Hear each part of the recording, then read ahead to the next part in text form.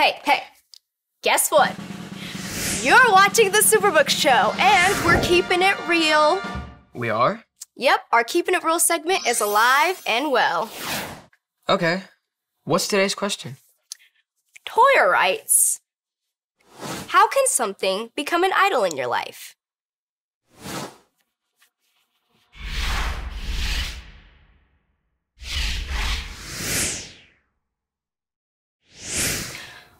Okay, well, let's start from the beginning. Okay, roll them. In the beginning, God created the heavens and the earth. Okay, not that far back. I meant let's define what an idol is. Okay.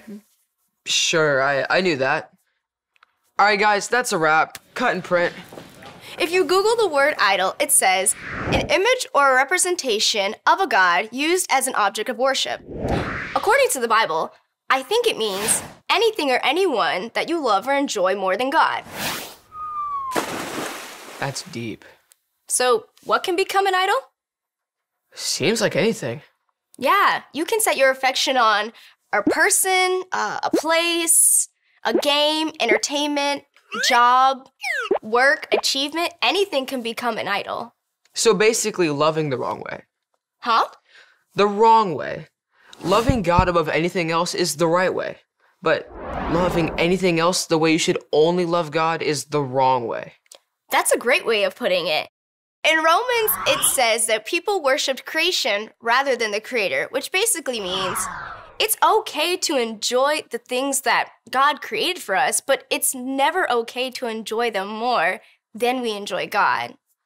So, Toya, to answer your question, anything can become an idol, but it's about listening to your heart and making sure you're not loving anything else above God.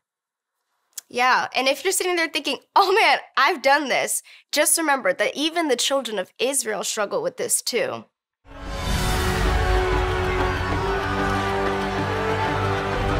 Idolaters!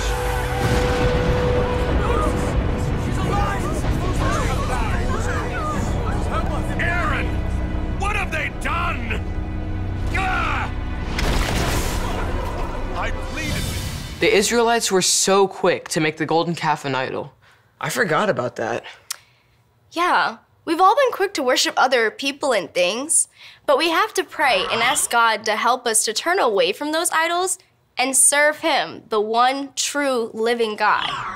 Anything can become an idol in your life so easily, but you can set it straight by keeping Jesus first in your heart. His word is forever alive.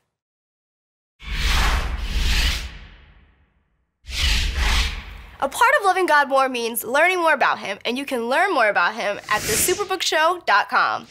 Love God more. The Israelites were so quick to try again.